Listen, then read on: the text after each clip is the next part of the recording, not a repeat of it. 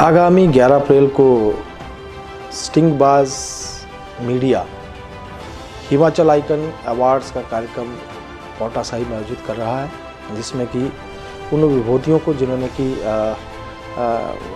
विभिन्न क्षेत्रों में अपनी प्रतिभा का लोहा मनवाया है, उनको सम्मानित करने का कार्यक्रम रखा गया है। मैं स्टिंगबाज मीडिया को इसके लिए बहुत बहुत बधाई देना चाहूँगा बहुत बहुत शुभकामनाएँ देना चाहूँगा। और मुझे पूर्ण विश्वास है कि एक बहुत अच्छा इनिशिएटिव स्टिंगबाज मीडिया द्वारा लिया गया है और जितनी भी विभूतियाँ सम्मानित होंगी, मैं उनको अग्रिम बधाई देना चाहूँगा।